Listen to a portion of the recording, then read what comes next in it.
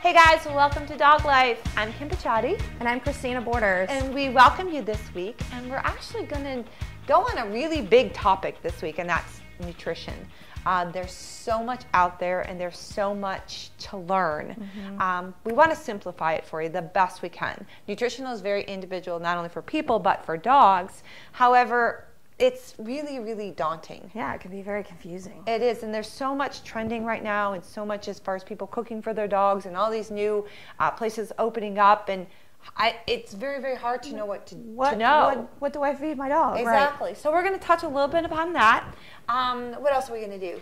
We are going to talk a little bit about plants. Yes, that's right. That's right. Uh, planting season is coming. Yep. So, or here, I should say. And so we're going to talk a little bit about that. We're going to go and we're going to talk about some the different kind of vessels you can feed your dog in. Mm-hmm. What material is best? That's right. And then, of course, our funny canine comics. Mm-hmm. But anyway, so right now, why don't we just jump right in because we have a lot to go over this week. Uh, let's just jump into the first up. And we're going to get a little bit about the basics of nutrition from this. Kind of very simple. Like I said, we're trying to keep this as simple as we can for you so it's easy to remember because mm-hmm. I have a hard time remembering things. The older you get, that happens. Um, but let's go see what it says. Yeah. How do we make sense of what is the best food and nutrition for our dogs? There's so many choices, so much hype, so many recalls, and even the people who specialize in canine nutrition often don't agree. It is up to us responsible pet owners to do what we can to learn about our dog's individual nutritional requirements. Whether you feed your dog a commercial kibble, prepare homemade meals, or feed raw, it is important to understand the fundamentals of canine nutrition. Research amongst the pet industry has shown that many people are now trending to cooking for their dogs this is one reason why it's very important to learn about some specific differences from their nutrition to ours. Both humans and dogs fall under six major classes of nutrients. First, what are considered macronutrients are your proteins, fat, and carbohydrates. Then there's micronutrients. Those are the vitamins, minerals, and water. Proteins are the complex molecule made up of amino acids, and they're the building blocks of all cell growth, maintenance, and repair. Fats provide the most concentrated source of energy in the dog's diet. See, dogs are lucky in that approximately 90 to 95% of the fat they eat gets metabolized. Unlike humans, dogs don't need carbohydrates because their bodies can get energy from protein and fats alone. However, when they consume carbs, it can be broken down by the digestive system and converted to glucose, which is another source of energy. Carbohydrates in the form of whole grains can furnish iron, minerals, and fiber, as many other beneficial nutrients. Did you know that your dogs produce their own vitamin C? Humans rely on our food and supplementation for vitamin C, but dogs can take care of it themselves. Vitamins are also important in the conversion of calories to energy. Minerals are inorganic nutrients that make up less than 1% of the dog's body weight that are essential to many important functions such as growth, strong bones, and teeth. Dog food. I mean, it's just overwhelming. I'm overwhelmed and I know a little bit about it. I can imagine the average person who doesn't know. And they come into the store and they often rely on the help of the people that work here um, to be able to tell them what's best for their dog. But what we've learned is every dog is individual. So this may be good for your dog, but this isn't for someone else's. So we're going to try to put a little bit of sense to this, but to me this is just overwhelming. As we go through the store, there's four aisles. We have one, two, three, and four aisles of dog food. How, how are we supposed to know what's good and what isn't for our dogs? Well, let's head back to the studio and let's see if we can decipher a bag and learn a little bit more so maybe it'll make your next trip to the store a little bit easier. I don't know about you, but that's a lot to know. Yeah, it's overwhelming. Well, I mean, there's just so many choices and so many things to choose from. It's like, I mean, my son had asked me a couple weeks ago or whatever, he's like, you know, he wanted to switch up Brutus's food, and he's like, what do I get? And I'm like, there's there's a lot to know and a lot to figure out. Mm-hmm. So, with that being said, what we want to do is we want you to just kind of follow some basic. We're going to give you five or six different tips that you can kind of figure out, help kind of put things a little bit more in perspective so you're a little bit more knowledgeable um, about being able to choose that best food for your dog and you're not so overwhelmed and falling into, you know, this food industry is very much hype Yes. So that's really where a lot of it's kind of coming from. So the first thing that we want you to look at is the front of the bag. Don't get all into all the fancy as far as all the pictures of the food. But it looks so good. I know, but just remember that this is human grade food, and unless this bag says human grade right. food, it's animal grade food. It doesn't look like this. No. At all. The other thing is they can put on here, um, for example, they may have a big pile of blueberries or a big pile of something. You're thinking, oh, that food is all filled with it. Mm-mm. Very first, not the first ingredient like a lot of people tell you to do, it's the first couple ingredients. And there's a very big difference between chicken and chicken meal. Now, meal sounds like it's pretty gross. Yeah. Yeah. And if, when I look at a bag, and, and I even thought this myself, mm-hmm. uh, chicken meal. Oh my god, that sounds like it's yeah, just like just pieces, parts of whatever. ground up chicken. Yeah. But it's actually the better of the two. The reason is is because when they the ingredients, I'm going to take a step back because I don't want to confuse you. Ingredients on the label is listed in weight 1st mm-hmm. So the thing, the item that weighs the most is the very first ingredient. So we all think meat weighs the most, correct? So when I think of chicken, I think of a whole chicken. Mm-hmm. And that's exactly what it is. But before it can go into the bag and into the extruder, it's got to be cooked. Now that chicken, which was a maybe a 10 pound chicken, now has turned to a 5 pound chicken because all the moisture is taken out. Now with chicken meal or whatever meal product that is, they dehydrate it first and then they weigh it. So now all that moisture is taken out of the, the ingredient. So uh, one whole chicken could weigh 10 pounds, but a big stack of chicken meal that could look like double the size could still weigh 10 pounds.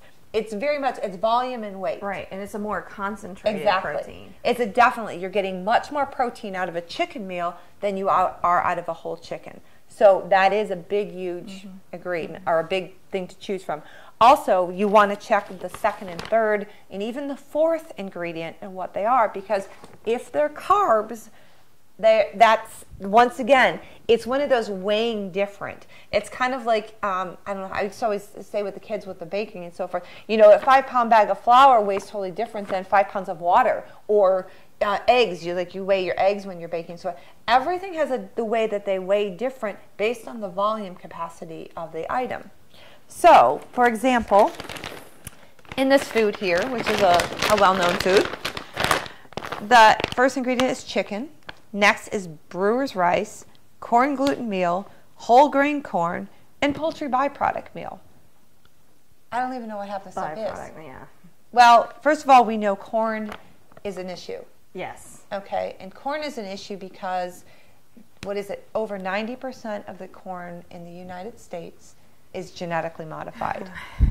And what's an easy way for them to understand um, that? Genetically modified means that it's been engineered in a lab to be able to withstand environmental pressures and um, most herbicides that are used right. and uh, insecticides to keep the bugs off of. Which are known carcinogens such yes. as Roundup. Roundup. Okay, so those are the items that you want to look. For example, this bag says its first ingredients are deboned beef, lamb meal, sweet potatoes, peas, potatoes. Uh, then it goes into pea protein, so forth. This bag says, uh, let's see, chicken meal, whole eggs, dried turkey meal, uh, cassava, and tapioca, um, which I'm assuming that that is like almost like I don't know that's like, like flour, a thickener, starchy something stuff, like that, which would be a starch. Okay, which takes us into another thing that you want to look for, which are the sugars in the food, and it's very easy to do that because all you do is you're going to go to the side of your bag on your guaranteed analysis, and you are going to see it's going to list protein, fat, fiber, moisture, and a lot of bags they don't put the ash on the side. I'm not really quite sure why. Mm-hmm. Some bags do, some bags don't. So the average kind of is about 6% as far as ash. So in looking at this bag right here, it has 38% protein, 15% fat, so that would be 53. Uh, it has three and a half crude flour, so let's just say four. Uh, so that's 57. It has 11% moisture, so that's 67, 68. And then if we add in our six, it would be 74, mm-hmm. right? Mm-hmm. Is that right? 68 and six, 74. Yes, right. So what that's telling us is this whole bag, which means that that would be 26% sugar. of a 25 pound bag. That's not much. A lot. Of, that's a lot. But there's some of them that we did that were over 50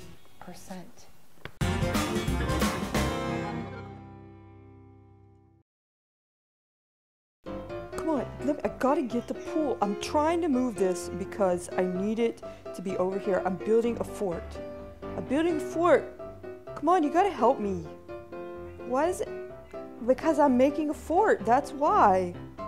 I need.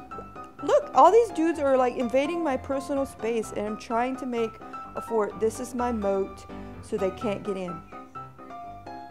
That, see? See, it's working. They're not they're not coming in now. It's working. This is perfect. I'm so smart. I'm so smart. Look at look at this. It's doing its job. Wow, I'm a genius. Oh no, no, you're not supposed to go in there. No, that's not why I did that. That's a moat. You're not supposed to do that. Come on, man. They have what they call a 95, 25, and 3% rule. And what that means is, for example, this bag here says recipe. This bag here says formula. Uh, I believe it's dinner, nuggets, those types of things. That means 25% of this bag has to be that first ingredient or whatever they're saying. So the protein, then this one it would be beef. So they're saying that this bag would have to have at least 25% beef. Now, putting that into perspective, that's once again raw weight, and 25% of a 25 pound bag is only six and a quarter pounds before it's cooked. Yeah, that's true. And before it, we all know that the moisture content when you cook food at least goes down 50%. So that means basically three pounds maybe Mm-hmm. of beef in a 25 pound bag. What else is the rest? Yeah. That's where it's kind of different. The 95% rule means it 95% of it would have to be real food, which if it just says chicken dog food or beef dog food, um, then you know 95. Um, if it says with, uh, you know, beef with chicken or something, you know, or or whatever. puppy some- food with chicken. Exactly. There you yeah. go. Um, dog food with beef or whatever. Yeah, yeah. The with is only three percent. Which is very misleading. I That's point point oh three of a 25 pound bag. That's not even a pound of meat in here. And if it says flavor, it doesn't even have to be meat. So those are some of the things on the front of the bag.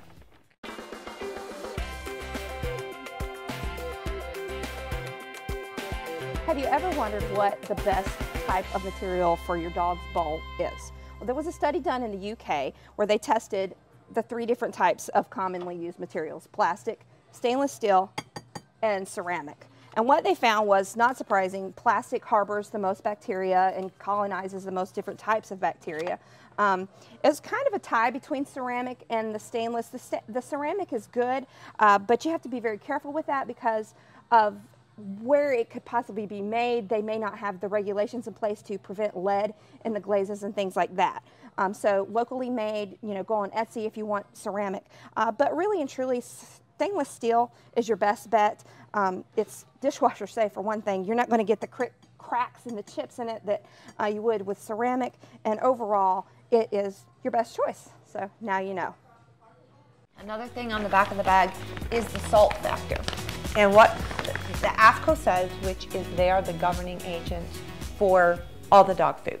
And what that means is there cannot be any more than 1% of salt in any type of dog food. So that tells us when they say that their rules are the highest ingredient in weight has to be listed first, all the way down to the lowest. So if we find salt, for example, on this bag, Salt is about, I'd say maybe about halfway in, or maybe about a quarter of the way in. the way, mm-hmm. But the two items that are after that are apples and blueberries. So that may mean there may be one blueberry in this whole bag. Mm-hmm, Only one blueberry.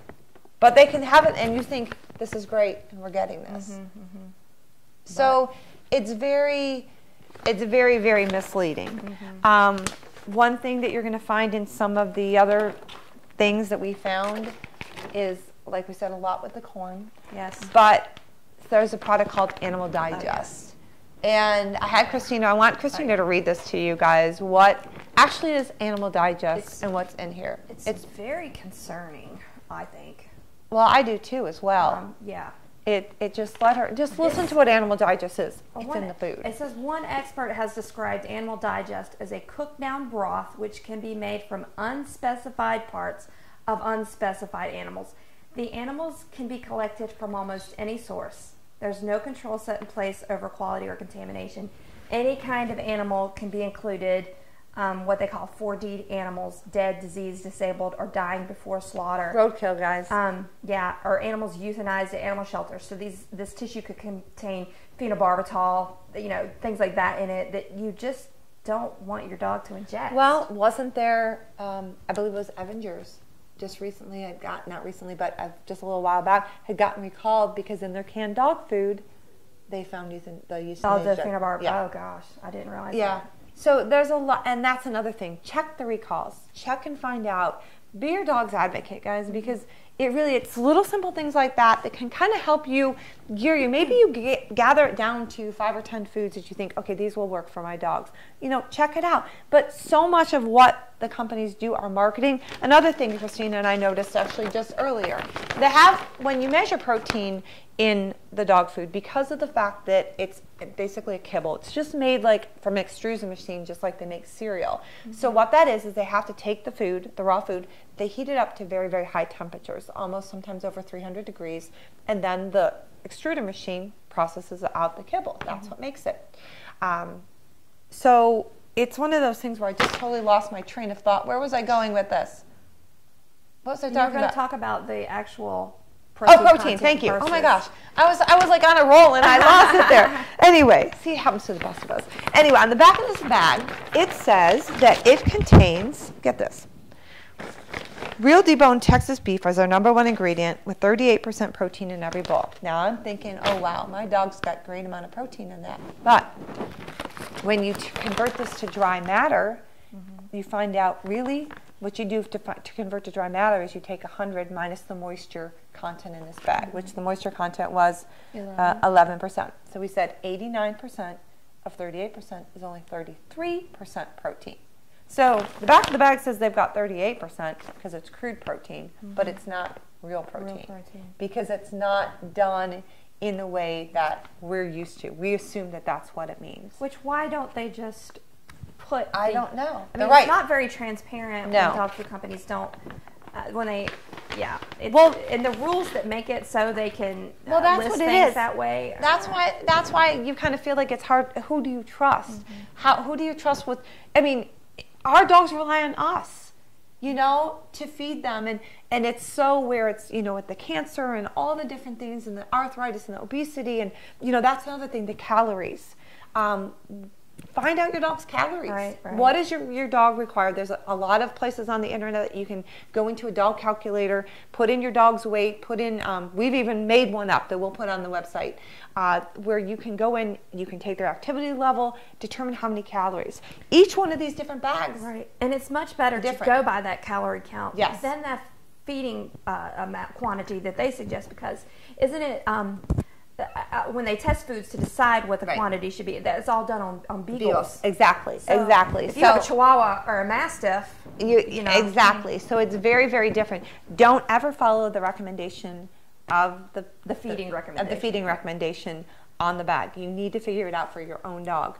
Uh, like I said, you have to take what calorie count. It's just like a person. How Mm-hmm. many calories do you need today to survive? What are you having? What type you're doing? And feed your dog according to that. Because and don't forget to count in the treats and give yourself some factor that way. You know, we all like to give those extra treats and in tables. But that adds up over time. Yeah, it does add up, just like it does with people. That and, extra, and a lot of extra times, glass they're, of wine. they're- those treats are, are much higher in, in calorie count than, exactly. than the food. can be. exactly. So you really kind of have to watch all the way around. Uh, like I said, we didn't want to go into too much detail and bore you, but we hope you those remember the factors. What's on the front of the bag as far as formula, width, recipe. Know your content. Uh, worry about the first four ingredients. Look at your salt factor. Look at your sugar factor. Know your calories for your dogs. And last one, I forgot to say the dyes. Oh yes. The dyes. That is a huge one in a lot of grocery store purchase food. Uh, the red dye, yellow 5, and yellow 6. Known carcinogens, guys. They cause cancer. Mm-hmm. They're only in there to make it look like it's real chicken or it's real vegetables or whatever it may be. Mm-hmm. It's all marketing. Right, right. You wouldn't give your kids a lot of, you know, that's a No. big deal these days. No artificial Exactly. colors or dyes. Yeah. Exactly. And that dyes cause cancer in animals. It's proven. Mm-hmm. It's proven. It's it it's all that it, there is to it. Mm-hmm. So Stay away from that. yeah. So right now, what we're gonna do is we're gonna go make some probiotics. Lord knows what's in that jar.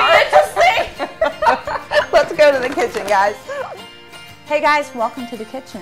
What better thing to work on today than a probiotic, which is very whole food and natural, and we're going to ferment some vegetables. It's great for, for the dogs, it's great for us, and the probiotic activities and bacteria are much, much higher in this than even some of the ones that you can buy and supplements that you can do. So what is great is this will save some cost. Anybody can do it. At leftover vegetables in the garden, in the yard, all your tastes. So I'm going to go through it real quickly to show you how simple it is to do. I made this jar a little bit earlier. All I did was get a mason jar, pint size, packed it with the vegetables I wanted. I used asparagus, carrots, and some red peppers. Then I took two cups of bottled water or filtered water. I and then I dissolved in that water half a tablespoon of sea salt. Remember, sea salt's good for dogs, safe for dogs. Poured it over top of all my vegetables. And then I took a ceramic weight and put it on top because I wanted, we need to make sure that all the vegetables are submerged under the water because this way that will make it so you don't have mold growing or anything else like that in there. Sealed it all up and we're just gonna let it sit on the counter at room temperature for a couple days. This one had already sat since about four or five days ago. So you can see the asparagus perfect as far as crispiness. It's almost like you grilled it. It's got a very, very good, great, good flavor. The peppers turned a little bit softer, which is great for our older dogs. But you wonder why we need probiotics? It aids their digestion, detoxifies their system, and builds their immune system, which is very, very important because a lot of our dogs' ailments come from their gut.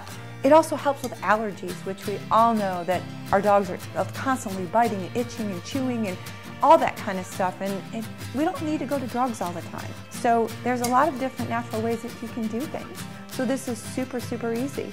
But in order to enhance it even more is prebiotics. See, if you put prebiotics before probiotics, it equals symbiotics. And you're like, oh my goodness, what do I do now? this right here. Simple apple.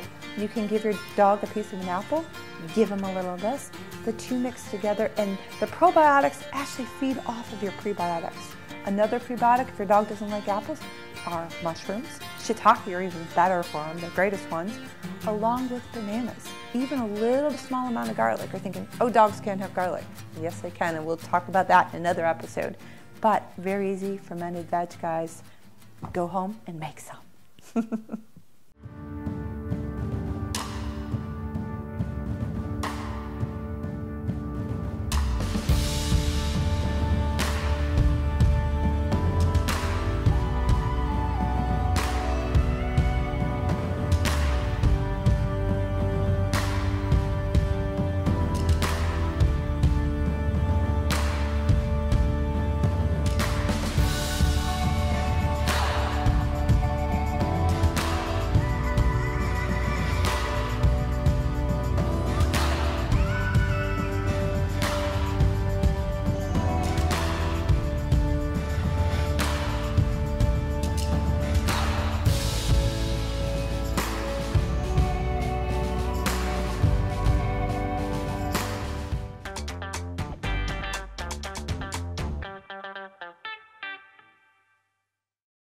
As the number of kids per household declines, the number of pets are increasing.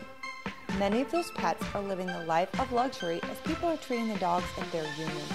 So it shouldn't seem too much of a surprise that dogs are now actually have their own food trucks hitting the streets. As our pups are going more places with us, food truck owners are targeting urban areas near dog parks, farmers markets, breweries, and festivals. Many of us have memories enjoying that special treat from the ice cream truck, and now more and more pet parents are reliving that same feeling with their pups. Starting in May of 2011, Fido To Go was the first and original dog and cat treat food truck in the nation.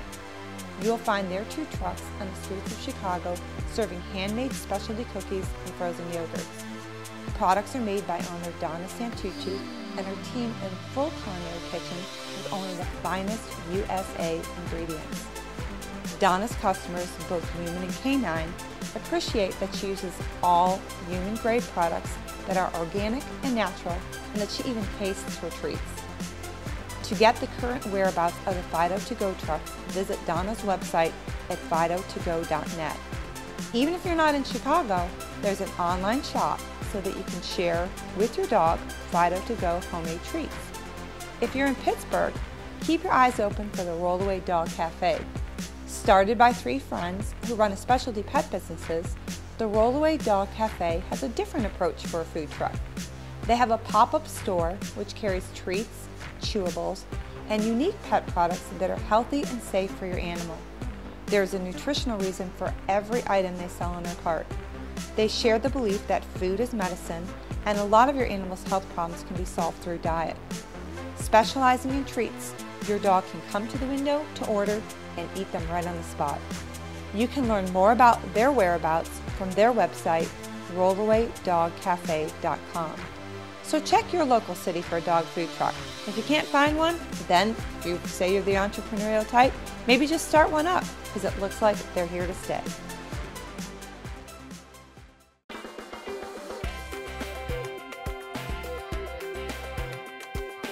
We all know that poinsettia plants are poisonous to the dogs at Christmas, but did you know that there's some spring and summer plants that are as well? Begonias, a one that's very, very much used as people that put in annuals every year. Uh, I'm from the north and we used to always, impatiens went in the, in the shady part, begonias went in the sunny part. And those were very, very common plants, but they're toxic to the dogs if they eat them, along with our beautiful blooming azaleas that come out in the springtime. And usually are like down here in the south, they're usually out all year long, not the flowered part, but they can still get the branches and still get the, the, the leaves which are toxic to them, along with the boxwood plant, which is another very common one that you'll find in people's yards. So just make sure if your dogs are outside playing, make sure they're not being able to have access to that. So now you know. Don't forget, guys, Dog Life is for you and about you, and we want to see your pictures and videos. So go to the website, doglife.tv, and submit your photos and your videos. There's a link right there with you can click on it and it'll email it straight to us, and we want to feature your dogs on the program. So send them in. We want to see you. Welcome back, guys. Well, I hope you've learned a lot this week. I know we have, huh? Yes, a lot. Did you did you learn that veggies aren't bad? I like I like veggies, fermented veggies. Well, I don't know. It's really no. It's it really it's a great probiotic and yeah, and it's whole food. You're not getting some combobulation of stuff. so- well that that's always better for everybody, right? But guess what next week is? Do you know what next week's show is about? Puppies, guys. We're gonna bring you overloads of cuteness. so I think you're gonna love it. We've got a lot to share since we're kind of puppy experts. So we've got a brand new litter. Um, they're just little babies, so we're going to introduce them to you, kind of meet everybody, get your favorite. Yeah, they are cute. They are cute. But really, we hope that you enjoyed this week's show. Please pay attention to what you feed your dog because it, it really is true. You are what you eat. Yep. And it goes for them as well. So have a great week. Send us the videos, please, guys. Don't forget. Doglife.tv. You got it. Thanks, guys. We'll see you next week. Bye. Bye bye.